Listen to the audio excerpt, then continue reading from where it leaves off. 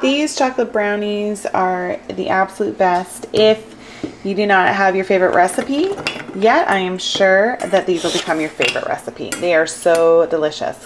What are you making it for? Chocolate brownies for dessert. Okay, so first thing you're do is set your oven to 375 and then you're going to take 8 ounces of semi-sweet chocolate, baker's chocolate, and a half a cup of butter into like a medium-sized pot and you're going to melt it all together. All right, once that's melted, you're just going to let it sit for about 10 minutes so it cools off because we're going to mix some eggs in it and we don't want to cook the eggs. So while you wait for that to cool, you're going to prepare your pan. You can use a 9 by 9 like your classic um, brownie cake pan. I personally like to use the medium size spring pans um, just because it's going to be for a dessert when people come over and it's a little fancier. So no matter what you use, just prepare, use parchment paper to line it or flour and um, butter and flour if you're like a regular pan. But spring pans need parchment paper, otherwise it will leak through. So just prepare your pan and, uh, and then we'll move on. All right, next in a bowl, we are going to put together a quarter cup of packed brown sugar and three-fourths white sugar. And as soon as your chocolate has cooled enough, you're going to pour it in and whisk it together. Just like this. Whisk it all in until all the lumps are gone. Next, we're to whisk in three eggs, three large eggs. We're to do it one at a time so that um, it creates a fluffier brownie. Next, you're to whisk in one teaspoon of vanilla. All right, next we're to fold in with a nice spatula a half a cup of flour plus two tablespoons, so a half plus two tablespoons of flour, um, two tablespoons of cocoa, and then a pinch of salt. It definitely takes a lot longer to fold it in, but it's well worth it for the final result.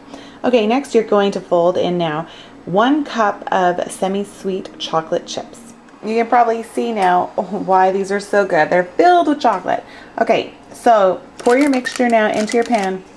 You're going to cook this for in between 30 and 40 minutes. Every oven's different, so when you can um, pull a toothpick out and just be a little bit wet crumb, like like wet crumbs on it, then you know it's done. You don't want to overcook, but you don't want to undercook as well. So just keep an eye on it between 30 and 40 and you'll know when to take it out. Okay, so while those brownies are baking, we're gonna make the icing. So in here is a quarter cup of milk, half a cup of butter, and two tablespoons of cocoa. We are going to put it on high heat and we're gonna bring it to a boil. Once it boils, remove it from the heat, but keep whisking it because you don't want it to burn. Um, and then you're gonna add in one teaspoon of vanilla. And next you're gonna whisk in three and a half cups of icing sugar. And there it is. So what I do is I just keep it in the pot, off the heat of course, and I come back and I stir it every once in a while. I'm just gonna wait now until the brownies are finished, and then I'll show you how I um, put it on, because you can see it's quite runny. Alright, when you pull it out of the oven, just let it sit and cool for 10 minutes. Okay, so if you have done yours in like a cake pan, a normal cake pan, now is when you would pour your sauce on top or your frosting on top. Now this is a little more than what you need for your brownies. What I like to do is keep, put some aside to put over top of your ice cream if you're gonna have like ice cream and brownies. Or use it to dip strawberries in. You taste that, you're gonna see that this is the absolute best, most delicious frosting you can have, and you'll find many uses for it.